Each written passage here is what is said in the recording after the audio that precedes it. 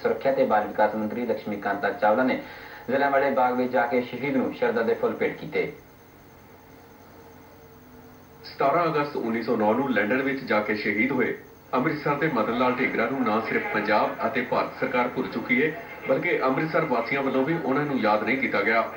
ਪਰ ਉਹਨਾਂ ਦੀ ਸ਼ਹਾਦਤ ਨੂੰ ਯਾਦ ਕਰਨ ਲਈ ਪੰਜਾਬ ਦੀ ਸਮਾਜਿਕ ਸੁਰੱਖਿਆ ਅਤੇ ਬਾਲ ਵਿਕਾਸ ਮੰਤਰੀ ਲక్ష్ਮੀ ਕਾਂਤਾ ਚਾਵਲਾ ਪਿਛਲੇ 3 ਸਾਲਾਂ ਤੋਂ ਕੋਸ਼ਿਸ਼ ਕਰ ਰਹੇ ਨੇ।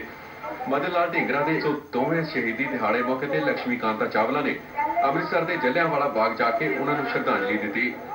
ਇਸ ਮੌਕੇ ਤੇ ਲక్ష్ਮੀ ਕਾਂਤਾ ਚਾਵਲਾ ਨੇ ਕਿਹਾ ਕਿ ਇਸ ਸ਼ਹੀਦ ਨੂੰ ਪੂਰਾ ਦੇਸ਼ ਭੁੱਲ ਚੁੱਕਿਆ ਸੀ, ਪਰ ਅੱਜ ਦੀ ਨੌਜਵਾਨ ਪੀੜ੍ਹੀ ਨੂੰ ਇਸ ਮਹਾਨ ਸ਼ਹੀਦ ਦੀ ਕੁਰਬਾਨੀ ਬਾਰੇ ਦੱਸਣ ਲਈ ਉਹਨਾਂ ਨੇ ਪੀੜਾ ਚੁੱਕਿਆ ਹੈ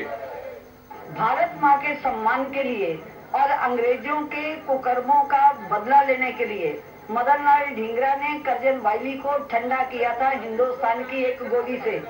और उसने ये सिद्ध कर दिया कि तख्ते लंदन तक चला दी तेग हिंदुस्तान की। अमृतसर के लोगों को मदन लाल ढींगरा का जितना मान सम्मान याद करना चाहिए था, वो नहीं किया। इस अपने शहर की, अपने देश की गलती को ठीक करने के लिए पिछले दो साल से, इस बार तीसरा साल हो गया, हम राज्य की ओर से भी और जनता की ओर से भी ढींगरा का दिन मनाते हैं। ਸ਼ਹੀਦ ਮਦਨ ਲਾਲ ਢਿੰਗਰਾ ਦੀ ਯਾਦ ਵਿੱਚ ਲక్ష్ਮੀ ਕਾਂਤਾ ਚਾਵਲਾ ਨੇ ਕਈ ਯੋਜਨਾਵਾਂ ਉਲੀਕੇ ਜਾਣ ਦੀ ਗੱਲ ਕਹੀ।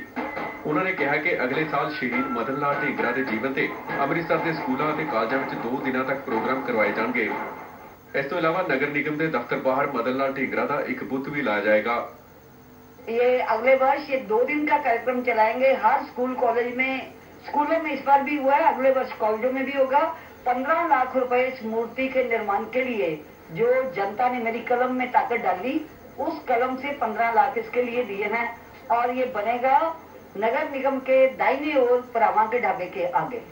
ਸ਼ਹੀਦ ਮਦਨ ਲਾਲ ਢੀਂਗਰਾ ਨੇ ਮੁਲਕ ਨੂੰ ਆਜ਼ਾਦ ਕਰਵਾਉਣ ਲਈ ਵਿਦੇਸ਼ ਜਾ ਕੇ ਸ਼ਹੀਦੀ ਪਾਈ ਪਰ ਸਰਕਾਰਾਂ ਇਸ ਮਹਾਨ ਸ਼ਹੀਦ ਨੂੰ ਭੁਲਾਈ ਬੈਠੀਆਂ ਨੇ ਸ਼ਹੀਦਾਂ ਨੂੰ ਸੱਚੀ ਸ਼ਰਧਾਂਜਲੀ ਇਹੋ ਹੋਵੇਗੀ ਕਿ ਉਹਨਾਂ ਦੇ ਪੂਰਨਿਆਂ ਤੇ ਚੱਲਿਆ ਜਾਵੇ ਅਤੇ ਸ਼ਹੀਦੀ ਦਿਹਾੜਿਆਂ ਤੇ ਉਹਨਾਂ ਨੂੰ ਦਿਲੋਂ ਯਾਦ ਕੀਤਾ ਜਾਏ ਅੰਮ੍ਰਿਤਸਰ ਤੋਂ ਕੈਮਰਾਮੈਨ ਸਿਕੰਦਰ ਤੇ ਰਾਜਨ ਗੁਸਾਈ ਦੇ ਨਾਲ ਸੁਰਿੰਦਰ ਸਿੰਘ ਤੇ ਨਾਈਟ ਨਿਊਜ਼